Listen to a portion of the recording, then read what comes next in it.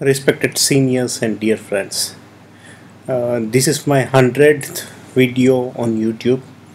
Hope these videos are helping you. This is about pns guided infraclavicular block so if you look at the history there are numerous approaches and modified approaches described in the history. First it was described in 1917 by Bazy followed by 1918 by Babitsky then Raj et al. described it in 1973 and that approach became popular. But after that, pericoracoid approach and vertical infraclavicular uh, block is very popular nowadays. They are safe, effective, and uh, anyone can um, do it without much complication. So th this is a nice block. Um, as compared to supraclavicular block uh, as there are less chances of uh, pneumothorax there are less chances of phrenic nerve palsy.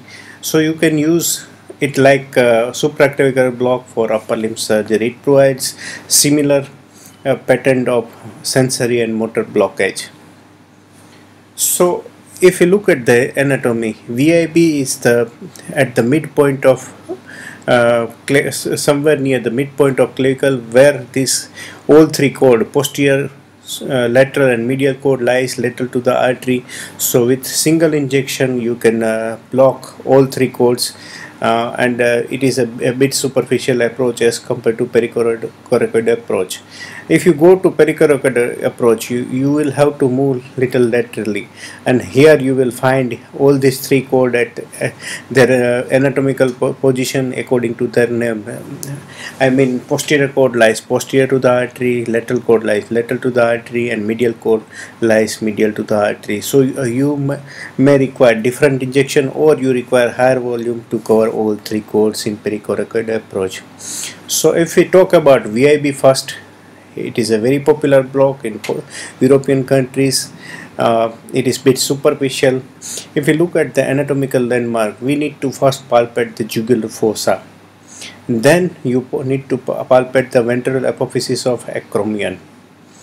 Then you have to draw a line in between these two and mark a midpoint immediately below the clavicle and that will become your entry point. You have to insert the needle perpendicular to, to the skin and look for the responses. So uh, this in this approach there are chances of uh, difficulty in landmark identification and wrong landmark may lead to complication so how to pulp uh, it is very easy to palpate the medial point that is jugular fossa but it is difficult to palpate the lateral point that is ventral apophysis of the clavicle you cannot palpate easily the lateral part of uh, clavicle um, because there is uh, cloud uh, the, the, the, there are many bones in this area that, that is uh, acromion process, clavicle, humerus, uh, uh, head of the humerus. So it is difficult to palpate. So how to palpate it? There is a method. We, we can locate the uh, acromion process from the behind. So we have to start palpating the sp spinous process of scapula from behind and if you go laterally and anteriorly you will find the acromion process of the scapula and that is how you can mark it very easily so here you can see you have palpated the acromion process and then you have to mark the point but in smaller size patient especially of Indian patient or uh, Asian patient they are smaller size. So there is some correction. Uh, if this distance is less than 22 centimeter. Then we have to uh, subtract it from uh, 22 uh, and um, uh, multiply it by 0.2 and entry point will be uh, that distance from the lateral from the that midpoint. So if suppose distance is 18 centimeter we have to subtract subtract it from 22 that is 4 we multiply it by 0.2 that becomes 0.8 so our entry point will be 0.8 centimeter lateral from the midpoint. If we don't do this correction, there are chances of pneumothorax or vascular puncture. So be careful in palpating landmark and uh, selecting the entry point in the vertical uh, infraclavicular block. So after palpating the landmark there this is very important needles should be inserted perpendicular to the skin. It should not be medially. Otherwise there are chances of pneumothorax because pleura is very close and there are chances of vascular puncture. So be careful. So as i said uh, uh, when locating for the uh, uh Uh, locating for the plexus we have to be careful. Here you can see my I am my, my my train is inserting the needle and he has directed the needle medially and that is not an advisable thing. Never direct the needle medially. You can go cranially or caudally or sometimes laterally or change the entry point and look for the response initial response. When you, when you insert the needle perpendicular to the skin you uh, initial response will, will be the stimulation of the pectoral nerve and that will stimulate the pectoral muscle. So you will find pectoral muscle stimulation initially when you enter in, in this area. Then when you advance the needle you may find lateral cord response or, musculocutaneous response. Uh, you, you can give the drug at this point but ideal response is the posterior cord response. Here you can see I'm inserting the needle perpendicular to the skin and I'm searching for the ideal response to, which is posterior cord response. So again I am locating the uh, plexus uh, my nerve stimulator is set at 1.1 megahertz and now you can see a nice posterior cord response that is extension of the fingers. So if you get this response you, you will get a, uh, a very good block so here you can see we have marked the side with a cross so you always stop before you block check for the mark uh, so that you don't uh, go for any complication. You don't uh, give the block on the wrong side. So it is very important. So this is the posterior cord response. I am reducing the current to 0.5 and less. If it is less than 0.3 i will not inject it. If i am getting the response here you can see it 0.4 uh, 0.36 it disappearing. So this is where i can inject the drug so this is the ideal response for uh, VIB or uh, coracoid approach. And if you get it uh, and inject drug, you have to inject 20 ml of LA. If you are uh, using it for uh, analgesia, then 0.2% ropivacaine or 0.25% bupivacaine or levobupivacaine is enough. If you are using for surgery, you, you require higher concentration that is 0.5% of ropivacaine or bupivacaine or levobupivacaine. This is a nice video of drug spread after VIB. In one patient I gave a VIB and scan in the supraclavicular area and you will see this is the supraclavicular, this is subclavian artery, supraclavicular. I scan up to interscalene area. So here you can see this is the interscalene area and this, this is the drug surrounding the interscalene area. So even with 20 ml of LA, drug spread up to interscalene area and that is why uh, chances of phrenic nerve palsy are there with VIB and it is up to 25%.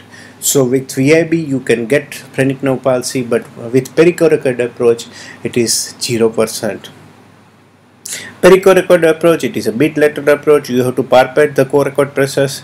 Uh, you have to mark the center point of coracoid process. Uh, go 2 centimeter medial and 2 centimeter caudal and that will become your entry point. So it is very easy to mark the coracoid process go medially and two, uh, 2 centimeter medially and um, caudally insert the needle perpendicular to, to, to the screen from anterior to posterior and look for the response. Success rate is low with single nerve stimulation but so it is better to perform multiple nerve stimulation with multi nerve stimulation or you can go for posterior cord response and inject the drug, uh, larger amount of drug and uh, believe that it will spread to lateral and medial cord here this is the landmark this is the uh, midpoint of the coracoid process. You go 2 centimeter medial and 2 centimeter caudal. So here you can see I'm inserting my needle. And I am looking for the response. It may be either lateral cord medial cord or posterior cord response. Here you can see I'm inserting the needle initially. I may get pectoral response so I started getting musculocutaneous nerve response but it is not desired. If I get good um, uh, this is a, uh, lateral cord response and uh, I can inject at 0.5 milliamp if I get good response. So uh, this is the point where you can inject the drug uh, but uh, there are chances of failure with this technique so uh, here you can see this is the musculocutaneous nerve response and it is not a desired response. So what is the desired response? Lateral cord response here you can see lateral cord response but it is not not also a desired response. So i am looking for posterior cord response again uh, here you can see I'm inserting the needle and I'm getting getting the uh, extension of the finger and that is the desired response. If I get this response I will inject the drug and a block will act nicely. Success rate uh, here you can see supraclavicular uh, block has got higher success rate uh, as compared to VIB or pericoracoid approach. But if you look at the complication rate with supraclavicular block you you get pneumothorax in up to 6% of the patient. But with VIB it is 0.2 to 0.7% and with pericoracoid it is very less that is 0.7% and if you look at the nerve palsy with supra it is 50% if uh, with VIB it is 25% and with pericoracoid approach it is uh, almost 0% Failure rate as I said with posterior cord response it is 5.8% with medial cord response it is 15.4% and with lateral cord response it is bit higher that is 28.3% response. So posterior cord response is always desirable I am thankful to Dr. Maulik Mehta for beautiful animation you saw in this video.